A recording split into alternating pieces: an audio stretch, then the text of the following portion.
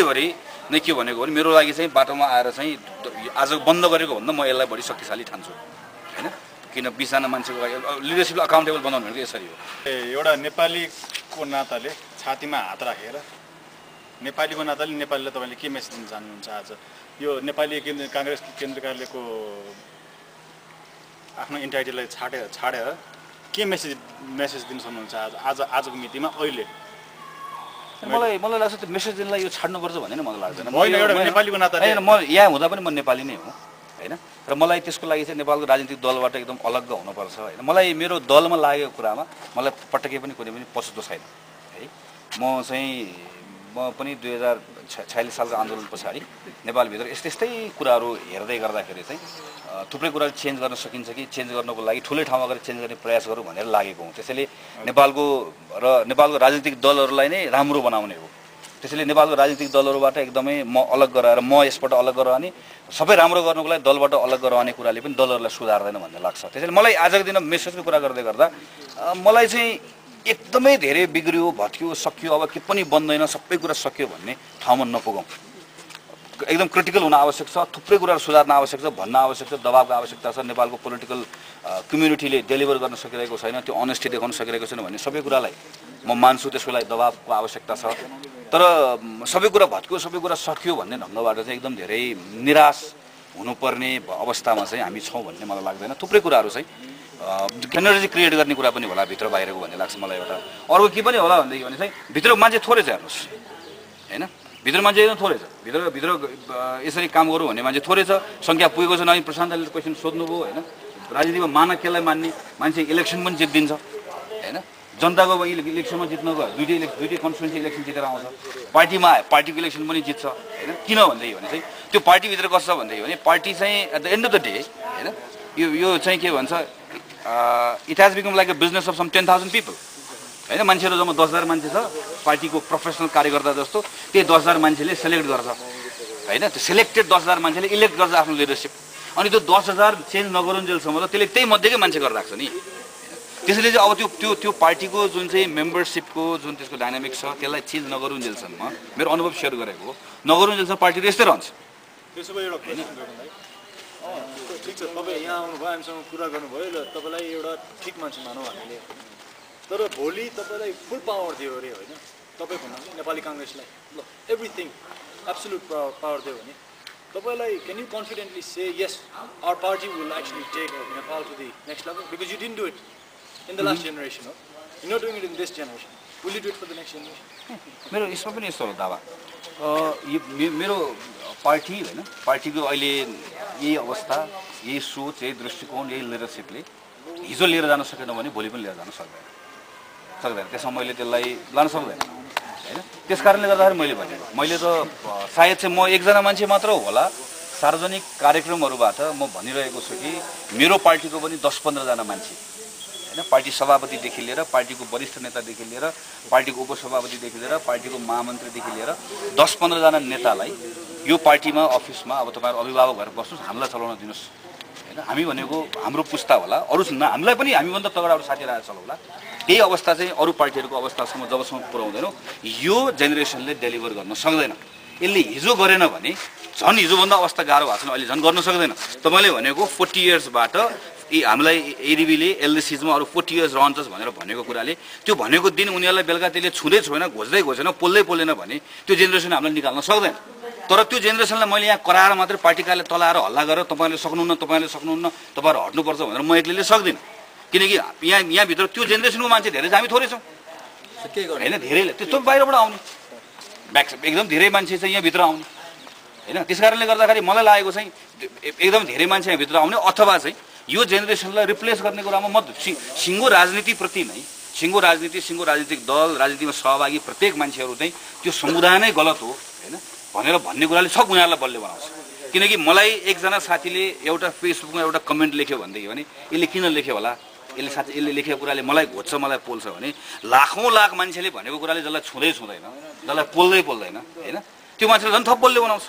किन राजनीति भनेको सबैले चोरहरू सबै चाहिँ खतम मान्छेहरूको मात्रै हो भन्ने कुरा भन्दैको भन् सबैले भन्दैको दसौँ वर्षदेखि सुनेकै छ। त्यसले के फरक झन् त झन् थप बलले बनाउँछ। त्यस कारणले गर्दाखेरि चाहिँ यो जेनेरेसनको कुरा चाहिँ यो यो मुभमेन्टसँग सँगसँगै जोडिएर आउने कुराले चाहिँ मलाई लाग्छ चाहिँ त्यसले राजनीतिक दलभित्र भएको लडाइँलाई पनि बल पुऱ्याउँछ होइन? त्यसले चाहिँ राजनीतिक दलभित्र चाहिँ नेतृत्व परिवर्तन गर्ने कुरामा पनि बल पुऱ्याउँछ। त्यस दावाको क्वेसनमा चाहिँ मेरो एकदम मैले ब्लन्टली के भन्छु भने सक्दैन। यो लिडरसिप भन्ने कुरा छ। होइन? त्यसैले मलाई फ्रेस माइन्डेडमा जानुपर्छ भन्ने कुरामा डराउने वा फ्रेस माइन्डेड जाने इच्छा नभएको चा चाँडोभन्दा चाँडो फ्रेस माइन्डेडमा जान पाए हुन्थ्यो भने बहुसङ्ख्यक पार्टीको मानिसहरूको धारणा त्यो छ। मैले खालि मेरो ठाउँबाट मैले तपाईँहरू जस जसरी बिच घटनाहरू हेरिराख्नु भएको छ मेरो ठाउँबाट भएको डर तपाईँहरूसँग सेयर गरेको हो कि फ्रेस माइन्डेडमा जाने डिसिजन गर्ने कुरा त हामीले गर्छौँ।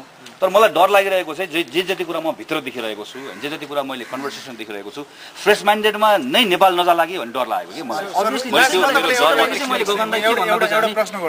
पोलिटिक्समा हुने जति पनि ओप्याक कुराहरू छन् नि त्यो चाहिँ जनता सामु चाहिँ एकदमै ट्रान्सपेरेन्टली आउनु पऱ्यो कि? त्यसपछि त अनि पिपलले डिसाइड गर्ने हो नि माओवादीले के भन्छ त्यसमा के भन्छ नराम्रो गरिरह्यो कि तपाईँहरूले नराम्रो गरिरह्यो कि एमाले नराम्रो गरिरह्यो भनेर। अनि त्यसपछि त त्यसपछि हुने संविधान सभाले त एउटा नयाँ कम्पोजिसन लिएर आउला नि त। यहाँ त जहिले पनि अब यो के बन्दुकको अथवा जहिले पनि के भन्छ नि एकदम ठुल्ठुलो राजनीतिक भाषणको मात्रै के भन्छ पछाडि त दौडिँदैन होला नि। एउटा लेभलमा अब त्यो त्यो पनि हाम्रो आफ्नै विडम्बनाहरू छन् होइन? तर कमसेकम फ्रेस म्यान्डेट सिक गर्दामा त्यो अनेस्टीले केही लेभलसम्म त एउटा क्रिए एउटा इम्प्याक्ट क्रिएट गर्छ होला जस्तो लाग्छ कि मलाई। त्यसको लागि चाहिँ त्यो गरौँ भन् भन्ने कुरा हो? त्यसमै म मेरो प्रश्न एड गर्छु कि तपाईँको आयरल्यान्ड तपाईँको युको मेम्बर हुने कि नहुने भन्दामा कन्ट्रीभरि रेफरेन्डम भएको छ क्या अहिले माओवादीको पिस प्रोसेस जनतामा जाउँ न कतिजना लडाकु समावेश गर्ने। एउटा रेफरेन्डम लिएर ल। हामीले गरेनौँ तपाईँहरूले डिसाइड गर्नुहोस् भनेर जान सकिन्न।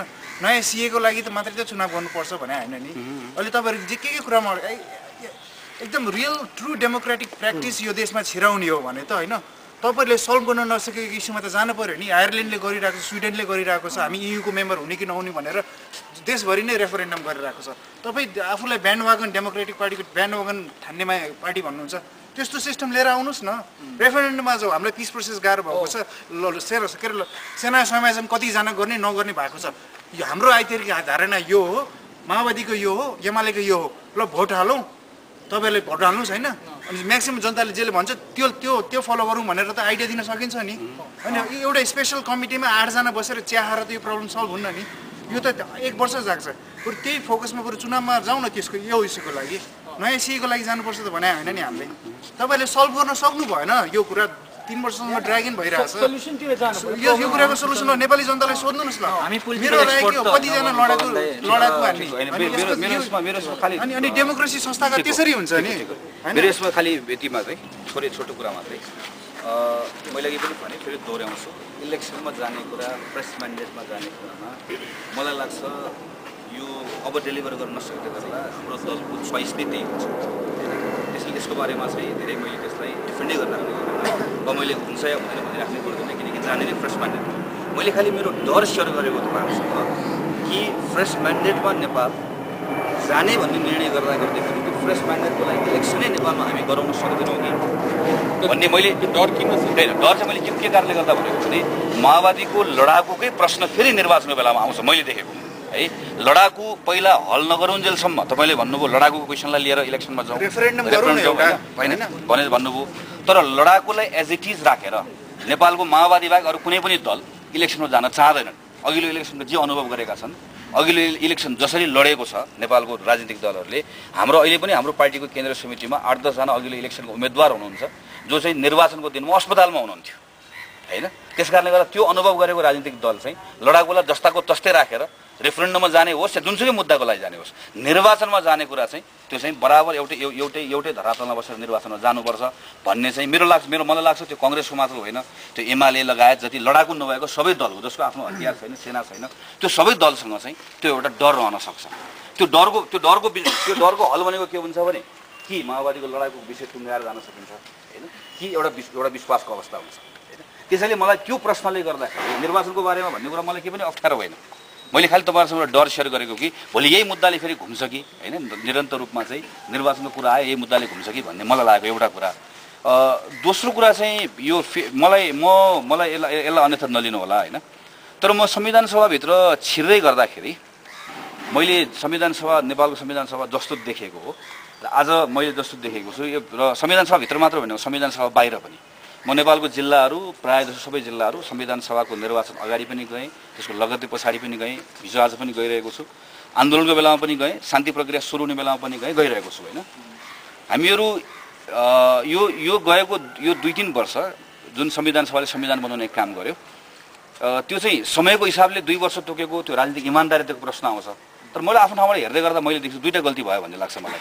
एउटा गल्ती भनेको हामीहरूले थुप्रै कुरा टुङ्गाएपछि मात्रै संविधान सभा इलेक्सन गर्नु पर्थ्यो बरु इलेक्सन एक वर्ष ढिलो हुन्थ्यो त्यसले चाहिँ एउटा राजनीतिक विश्वास आर्जन गर्थ्यो होला भन्ने लाग्छ एउटा मलाई दोस्रो कुरा के लाग्छ भने संविधान सभालाई जुन टास्क दियो जुन लिएर संविधान सभा गयो त्यसको लागि चाहिँ त्यो दुई वर्षको समयभित्र हामी यो सबै कुरा सक्छौँ भनेर जुन पहिला विश्वास भएको बेलामा जे पनि गर्न सकिन्छ तिन महिनामा यो छ महिनामा यो गर्ने भनेर गयो त्यो सम्भव कुरा थिएन किनकि नेपालमा जसले जति लुकाए पनि जसले जति लुकाए पनि अहिले अहिले मेरै तपाईँले मेरो पार्टी कार्यालयमा देख्नुभएको दुईजना जो दुईजना साथी हुनुहुन्थ्यो यहाँ देख्नुभएको।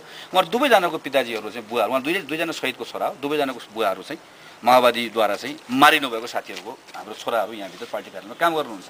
तपाईँ माओवादी कार्यालयमा जानुभयो भनेदेखि हामीले चलाएको सरकारको सेनाले चाहिँ मारेको चाहिँ त्यही पार्टीको सदस्य तपाईँ त्यहाँ भेट्नुहुन्छ अब होइन? हामी त्यो अनुभव गरेर आएको त हो। तेह्र हजार मानिसहरू मारिएको त हो होइन? नेपालभित्र त्यो भएकै हो। र संविधान सभाभित्र आउँदै गर्दा हामीहरूसँग त्यो ब्याकग्राउन्डबाट मात्र आएको नि। पिस प्रोसेसको हाम्रो मेजर मेजर कुराहरू के पनि भएको छैन। हामीले चाहिँ आयोग बनाउनेदेखि लिएर के पनि बनाएको छैनौँ। एउटा एकातिर पिस प्रोसेसको मेजर काम बाँकी छ। अर्कोतिर संविधान सभाभित्र छिर्दै गर्दाखेरि मैले अघि पनि बताएँ म संविधान सभामा मैले पहिलो डेढ डेढ दुई वर्षको अनुभव के छ भने मैले संविधान सभाले संविधानै बनाउन सक्दैन भन्ने ठाउँमा थिएँ। किनकि जुन दुईवटा खालको प्रस्ताव थियो यो यस्तो यस्तो संविधान बनाउने यस्तो संविधान बनाउने भन्ने कुरामा एउटा पार्टी एउटा आइडियोलोजीको लागि चाहिँ दस बाह्र वर्ष चाहिँ हजारौँ मानिसहरूसँग लडेर मरेर त्यो सही गलत आफ्नो ठाउँमा होला तर एउटा विश्वासको आधारमा लडेर आएको छ। नेपाल यस्तो बनाउनुपर्छ यस्तो खालको सत्ता स्थापना गर्नुपर्छ जनवादी सत्ता स्थापना गर्नुपर्छ भनेर ऊ संविधान सभाबाट त्यही कुरा प्राप्त गर्न चाहन्छ होइन? हामी त्यो कुरा रोक्न चाहन्छौँ भने संविधान सभाबाट संविधान सभाभित्र लडाइँ चाहिँ सजिलो लडाइँ थिएन। त्यसले विषय हल गर्ने टुङ्ग्याउने कुरा चाहिँ सजिलो। र जहाँ हामी कुरा गर्छौँ ने संविधान सभा सफल भएका प्रायः सबै ठाउँहरूमा त्यो लडाइँ टुङ्ग्याइसके पछाडि मात्रै संविधान सभामा गइएको छ। चाहे त्यो भारतको कुरा गरौँ चाहे दक्षिण अफ्रिकाको कुरा गरौँ तर हामीले सबै लडाइँ बाँकी राखेर। योभन्दा पहिला किन सफल भएछ भनेदेखि भने जे जे मेजर कन्टेन्टियस इस्युज हो त्यो सबै चाहिँ कहाँ पठाइएछ भनेदेखि भने चाहिँ संविधान सभा इलेक्सन पछाडि। लडाकुको कुरा इलेक्सन पछाडि। आइडियोलोजिकल कुरा इलेक्सन पछाडि। सबै पछाडि सारेको हुनाले गर्दा संविधान सभाले डेलिभर गर्ने कुरा चाहिँ त्यति सजिलो अवस्था थिएन भन्ने मलाई लाग्छ है। त्यसैले तर मेरो अनुभव के रह्यो भने म तिन वर्षभित्र केही पनि भएन भन्ने पक्षमा छैन। मैले त्यहाँभित्र गरेको अनुभव नेपालभित्र गरेको अनुभव संविधान सभाभित्र गरेको अनुभव जुन एकदम त्यो अल्ट्रा लेफ्ट एउटा चाहिँ त्यो त्यो नेपालमा एउटा ज्वरो चढेको थियो नेपालभित्र हुनै नसक्ने कुराहरूको त्यो ज्वरो उत्रने कुराको लागि चाहिँ एउटा समय आवश्यक थियो। ऱ्यासनल भएर छलफल गर्न सकिन्न थियो। म नेपालको चाहिँ मधेसको गाउँहरू म चाहिँ आधा गाउँहरू जान सक्ने मेरो अवस्था थिएन। संविधान सभा इलेक्सनको लगत्तै पछाडि। मधेसको साथीहरू अर्को कतै ठाउँ जाने ठाउँ अब जस्तो अवस्था थिएन। राजनीतिक हिसाबले भन्दैछु म। व्यक्तिगत हिसाबले ट्राभल गर्ने कुरा सम्भव थियो होला। तर म मधेसको एउटा गाउँमा गएर मलाई ठ्याक्कै लागेको राजनीतिक कुरा म गर्न सक्दिनँ थिएँ होइन? अर्को अर्को एउटा साथीले चाहिँ लाग लागिरहेको कुरा भन्न सक्ने अवस्था थिएन। त्यस्तो खालको चाहिँ ज्वरो चढेको बेलामा चाहिँ अब बिस्तारै एकदम त्यो ऱ्यासनल उसमा आएर त्यो अब के हो भन्ने ठाउँमा चाहिँ छलफल गर्ने ठाउँमा आइपुगेको छ भन्ने मलाई लाग्छ। तर यो त्यसैले ने यो सबै कुरा बिग्रियो सबै कुरा भत्कियो भन्ने मलाई त्यो लाग्दैन। तर अब डेलिभर गर्न नस- नसक्दै गर्दाखेरि यो इन्स्टिट्युसन जोगाइराख्नुपर्छ यो संविधान सभा म म संविधान सभा एक्सटेन्सनको पक्षमा मैले पनि भने म दुई वर्षपछि एक्सटेन्सनको पक्षमा लागेको। अस्ति पनि म एक्सटेन्सनको पक्षमा लागेको। तर अब यसले डेलिभर गर्न सक्दैन भने नो मोर एक्सटेन्सन अब नयाँ इलेक्सनमा जानुपर्छ भन्ने ठाउँ म पनि पुगेको छु। तर मैले डरमा त के कुरा सेयर गरेँ भने त्यो त अहिले भन्छु। त्यसको लागि लाग्छु पनि। तर इलेक्सन इलेक्सनमा यो वा त्यो बानामा नेपाल। इलेक्सनमा जाँदैन कि भन्ने लागेको डरमा त तपाईँहरूसँग सेयर गरेको।